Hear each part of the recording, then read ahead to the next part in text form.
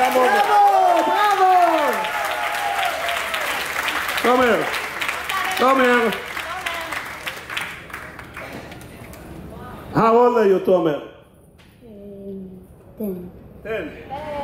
ומה אתה רוצה לעשות שתהיה עוד יותר גדול? מה? מטפטף. מטפטף? מתופף. אתה לא רוצה להקים סטארט-אפ?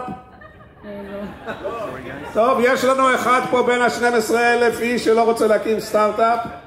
תגיד לי, אתה מקבל הזמנות לבר מצוות, חתונות, אה, ברית מילה, לוויות, או לא? אה, לא.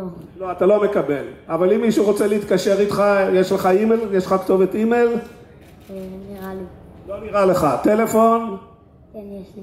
יש לך. איפה אבא? אבא, מותר שהוא ייתן את מספר הטלפון שלו?